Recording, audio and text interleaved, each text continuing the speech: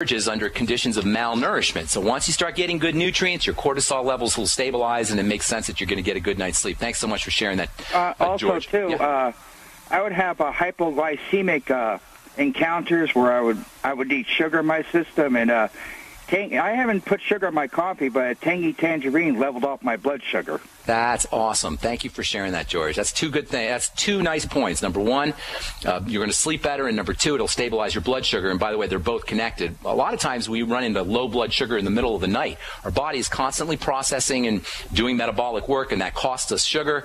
And if you run into hypoglycemia, low blood sugar in the middle of the night, you're going to end up waking up as your cortisol spikes to in response to the low blood sugar. So keeping that blood sugar stable, keeping your cortisol stable by using nutrients, micronutrients especially like the Beyond Tangy Tangerine is a great strategy. Thank you. Appreciate that. George, thanks for your call. All right, let's go to, uh, well, stay in Texas. Trisha, what's going on? Um, yesterday, I know that you gave a dosage uh, for children on the Tangy Tangerine. Um, but what age can you start that at? Um, Well- that and the OsteoFX. Well, I wouldn't. I wouldn't necessarily. I don't think the osteo OsteoFX is necessary for kids. Uh, for children, it has more to do with body weight than it has to do with age.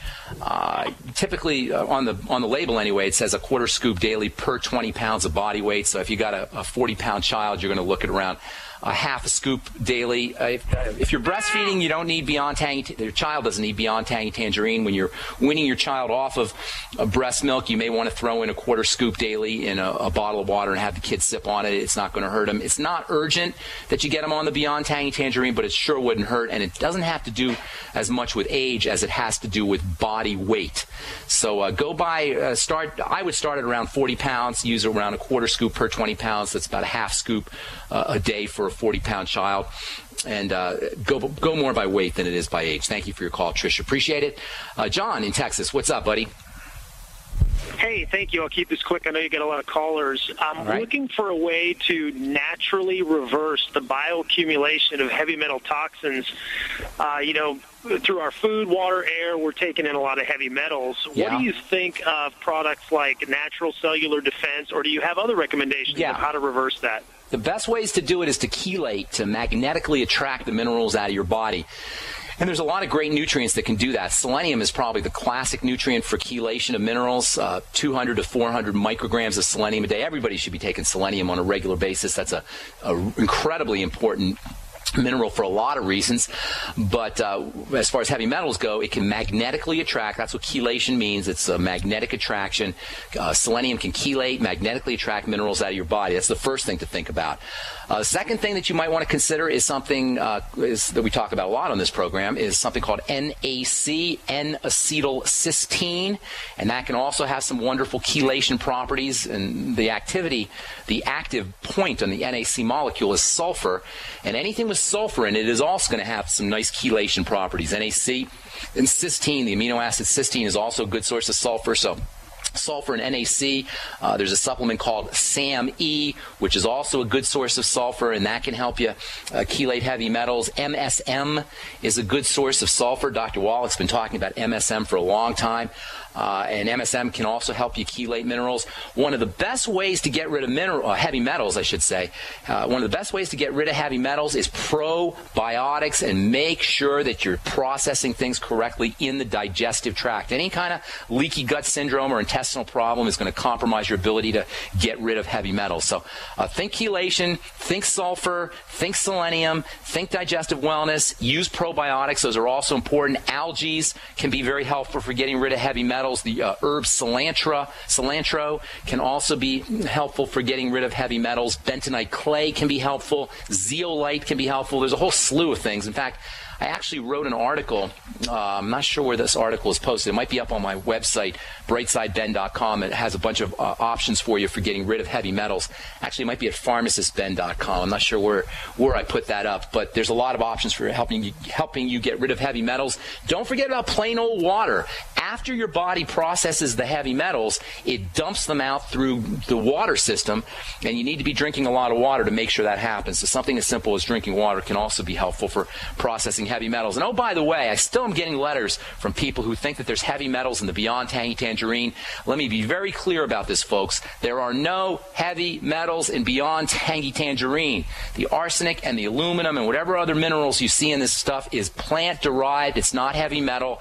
Heavy metals are deposited. They're heavy, so they're deposited in different tissues. The minerals that are in Beyond Tangy Tangerine and plant-derived minerals are not deposited. They are water soluble. They don't sink. They float. They suspend. They hang, and that makes all the difference in the world. So for anybody who's concerned about heavy metals and any plant-derived mineral products from Youngevity, it's not happening. There are none. No matter what you read on the internet, no matter what people tell you, uh, and most people who are talking about this aren't aren't chemists or aren't nutritionists. They're not really savvy or hip to what colloidal plant-derived minerals are. So just want to get that out of the way. Anyway, thanks so much for calling, John. Appreciate it. Let's see, uh, Karen, what's going on, girl? I'm calling about my boyfriend's chronic nasal congestion. I'm at my wit's end, and he's presenting with some other symptoms that may or may not be related. Okay. And uh, he has, let's see, he had asthma when he was a kid. Oh, he's been tested for food allergies, and they didn't find any. He had oh, maxillofacial surgery, and they also corrected a deviated septum. It helped a little bit, but he's still getting it every single day. Are you a healthcare about- professional, Karen, by any chance? I am not. You're not a healthcare professional, okay? Because you sounded li- like you knew knew a few things. Well, here's the deal: um, if you have sinusitis, especially if it's in conjunction with asthma or a history of asthma, you most certainly have a food allergy or some kind of activation of the immune system, which is more than likely a food allergy. It doesn't matter if you've been food allergy tested, and this is so important to recognize. Food allergy testing is not uh, is in, is not infallible. The, first of all, the laboratories that use food allergy testing makes mistakes all the time. Secondly, just because you're not allergic to something in a test tube or a petri dish doesn't mean you're not reacting to it in your body. I'll explain more about what I mean when we come back from our break. So hang tight, Karen. Got a couple more, got a couple lines open for you if you want to get on board. 866-582-9933 is our number. I'm Pharmacist Ben. You're listening to The Bright Side. We're coming back right after this. For health and vitality for you, your family, and friends, get the Healthy Start Pack from Youngevity, as recommended by registered pharmacist Ben Fuchs. If you're a junk food junkie, getting on the Healthy Start Pack is one of the best ways to wean yourself off of processed snack foods and start putting good nutrition in your body. If you have a loved one who's dealing with heart disease or any health challenge, the Healthy Start Pack makes a great gift. If you have a grandparent or a parent in a nursing home, you will be amazed at the difference a once a day dose of the Healthy Start Pack will make in your loved one's energy levels, in their memory, in their mood, and in their general outlook on life. Give the gift of optimal health to your loved ones and order the Healthy Start Pack from Youngevity by calling 866 735 2470. That's 866 735 2470 or on the web at brightsideben.com. That's brightsideben.com. Order today. So we decided to upgrade the look of our home. You know, improve the curb appeal. We decided to add the look of stone to the exterior. We really like the stacked stone look. Yeah, but when I checked into the price, it was ridiculous. No way could we afford it. Then a friend told me about Genstone. G E N S T O N E. Genstone comes in lightweight panels made of polyurethane. They've actually engineered the hassle out of installation. No mortar, no mesh. It was easy. Even I could do it. We just screwed the panels to the wall and it looks like stone. I mean, it really looks like stone. Yeah, from the box to the wall in minutes. We love the look of our home now. And Genstone is durable, comes with a 25 year warranty, and offers additional R value for insulation. If you want the look of stone at a price you can afford, call Genstone. at 855 955 Stone. Trust me, you'll save money. And you'll love the look. 855 955 Stone. That's 855 955 7866. My name's Bruno. I'm 52 years old. I've tried different protein powders over the years, and they've all tasted pretty bad. I tried One World Whey and found it to be delicious. After 10 weeks on One World Whey, my wife commented, You have more muscles and you're leaner than when you were 20 years old. My body has changed dramatically. I'm a cyclist. Normally I'll ride two days on and take two days off.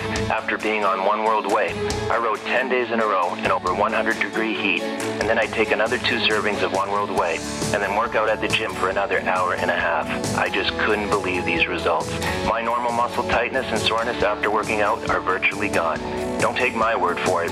One World Whey comes in single servings. Just give it a try. One World Whey is derived from Amish grass pastured cows and is newly reformulated to be higher in protein. Call 888 988 3325. That's 888 988 3325. Or visit oneworldwhey.com. That's oneworld, W H E Y.com. What good is a big Berkey water filter? We get that question a lot here at BigBerkeyWaterFilters.com, and in a word, the answer is protection. Protection from water main breaks, E. coli contamination, environmental chemical spills, pesticide runoff, chlorine taste and smell, and all forms of fluoride. Plus, Big Berkey water filters are the original gravity water filter system and most trusted on the market for a reason. Tested by multiple independent NSF EPA certified labs, they are the gold standard in water purification. At only 1.7 cents a gallon, a single set of filters can last for 5 to 10 years. That means big savings. Big Berkey, the one that's powerful enough to purify stagnant pond water. Get a Big Berkey today at BigBerkeyWaterFilters.com. GCN listeners receive 5% off all ceramic filter systems. Visit our website or call 1 877 99 Berkey. That's 877 99 B E R K E Y. Big Berkey Water Filters for the love of clean water. GCN. Proudly sponsored by UnseenNow.com. Find out how to stop Big Brother in his tracks at UnseenNow.com. This is GCN.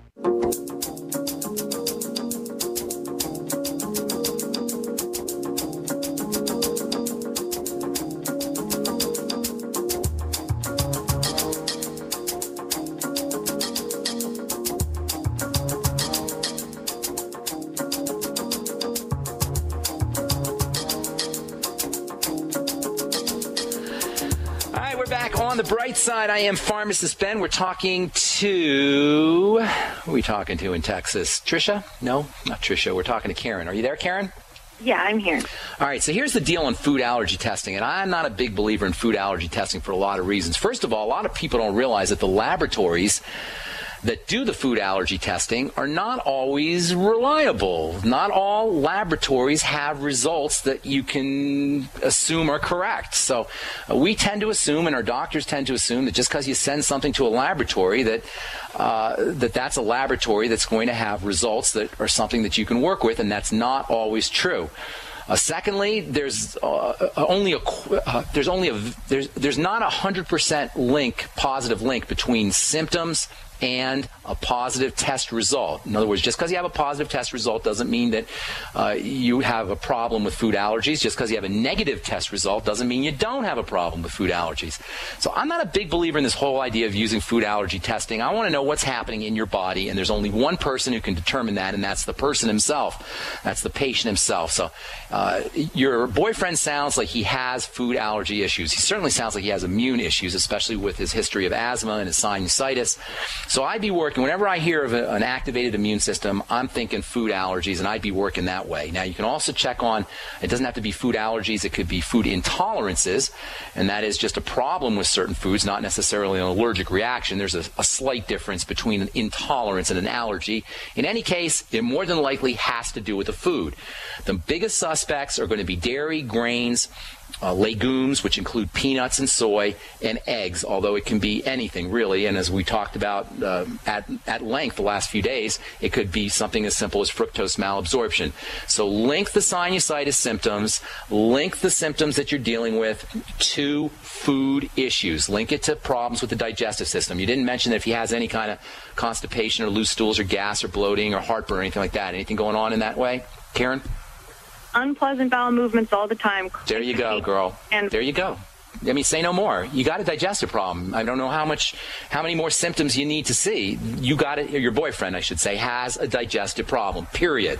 And if I was a betting man, I bet my house that you got a food. Now, this is good news and bad news. It's good news because all you do is eliminate the food and the problems are going to go away. It's bad news because most people don't like to eliminate foods.